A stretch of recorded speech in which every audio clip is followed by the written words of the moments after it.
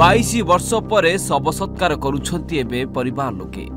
ଦୁଇ ହଜାର ଚାରି ମସିହାରେ ଭଦ୍ରକ ଅସ୍ଥଳ ନିରୁପୁର ଅଞ୍ଚଳର ଗଗନ ଦାସଙ୍କ ବାପା ବିଦ୍ୟାଧର ଦାସ ଘର ଛାଡ଼ି କୁଆଡ଼େ ଚାଲି ଯାଇଥିଲେ ଆଉ ଘରକୁ ଫେରି ନଥିଲେ। କିନ୍ତୁ ପରିବାର ବର୍ଗ ଆଜି କରୁଛନ୍ତି ଶବ ସତ୍କାର। ଏବେ ଆପଣଙ୍କୁ ଅଧିକ ଇଚ୍ଛା ହେଉଥିବ ମୃତ ଶବଟିକୁ ଦେଖିବାକୁ। ଯଦି ମଣିଷ ନାହିଁ ତାହେଲେ ସେଇଠି କିଏ ଶୋଇଛି? ବିଦ୍ୟାଧର ନାହାନ୍ତି କିନ୍ତୁ ତାଙ୍କ କୁଶ ପୁତଳିକାକୁ ଏଭଳି ମଶାଣିକୁ ନିଆଯାଇଛି ଆଉ ଶବ ସତ୍କାର ହୋଇଛି। ତାଙ୍କ ସେ କୋଡ଼ିଏ ବର୍ଷ ହେବ ଆଜକୁ ନିଖୋଜ ଅଛନ୍ତି। ଆଉ ଆମେ କୌଣସି ଉପାୟ ନ ପାଇ କାଳେ ଆସିବେ ପଳେଇ ଆସିବେ କି ମସ୍ତିଷ୍କ ବିକୃତି ଥିବାରୁ ତେଣୁ ସେ ଆସିପାରିଲେ ନାହିଁ। ଆମର ଯାଜପୁର ମହାପଣ୍ଡିତ ସେ ସରୋଜକାନ୍ତ ପାଢ଼ୀଙ୍କ ସହିତ ଆଲୋଚନା କରି ଏର ହିନ୍ଦୁ ସମାଜର କିପରି କ୍ରିୟା ଏଗୁଡ଼ା କର୍ମ ହେବ ସେ ବିଷୟରେ ଆଲୋଚନା କରି ତାଙ୍କଠୁ ଲିଖିତ ପତ୍ର ଆଣିଲୁ। ଆଣିବା ପରେ ସିଏ କହିଲେ ଗୋଟେ ମଣିଷ ମରିଗଲେ ଯାହା ଯାହା ଯେଭଳି ହୁଏ ସେଇଭଳି ଅନୁସାରେ କାର୍ଯ୍ୟକ୍ରମ ଆପଣ କୀର୍ତ୍ତନ ସଂକୀର୍ତ୍ତନ ଆପଣଙ୍କର ଭୋଜି ଭାତ ଆପଣଙ୍କର ନଖ କଟା ଯେଭଳି ଅଛି ଦଶ ଦିନ ଘାଟ ସବୁ ହେବ। ଶବ ନାହିଁ କିନ୍ତୁ ଶବ ସତ୍କାର ପାଇଁ ଚାଲିଛି କୋକେଇ ବନ୍ଧା। ଶବ ନାହିଁ କିନ୍ତୁ ମଶାଣିକୁ ଗଲାବେଳେ ଶୁଭୁଛି ରାମ ନାମ ସତ୍ୟ ହରି ନାମ ସତ୍ୟ। ଶବ ନାହିଁ କିନ୍ତୁ କୋକେଇ ପାଖରେ ବସି କାନ୍ଦୁଛନ୍ତି ପରିବାର ଲୋକେ।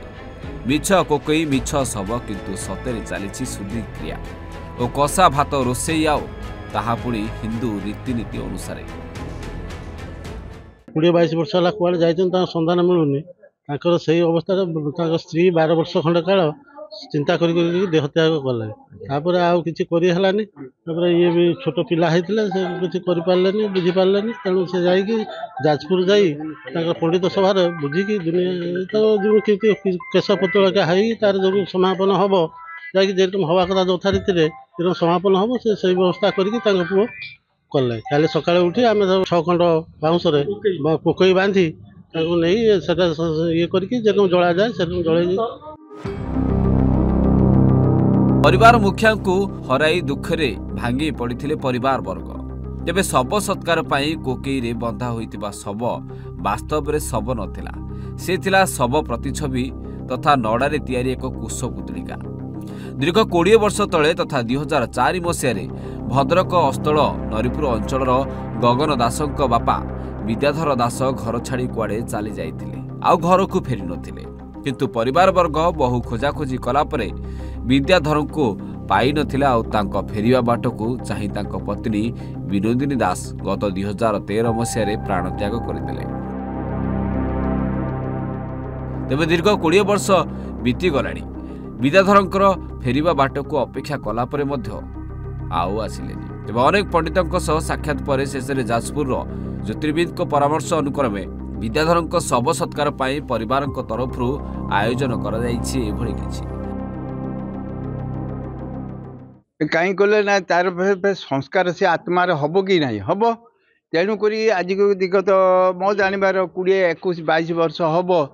ଆଉ ପରେ ଏଇଟାକୁ ଅପେକ୍ଷା କରି କରି କ- କରାଗଲା ଗତକାଲି।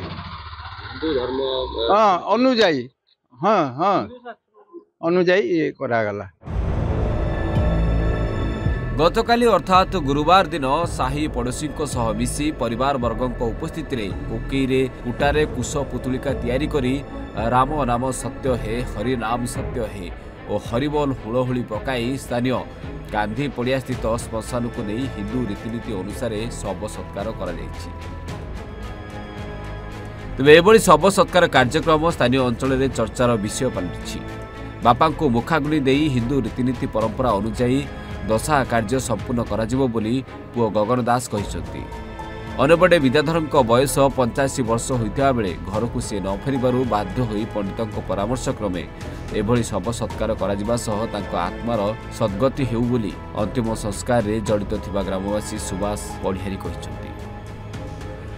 ତେବେ ଶେଷକୃତ୍ୟ ସମ୍ପନ୍ନର ଆଜି ଦ୍ୱିତୀୟ ଦିନ ଥିବାରୁ ହିନ୍ଦୁ ପରମ୍ପରା ଅନୁସାରେ କଷା ଭାତ ରନ୍ଧାଯାଇ ଭାଇମାନଙ୍କୁ ପରସା ଯାଇଥିବା ଦେଖିବାକୁ ମିଳିଛି।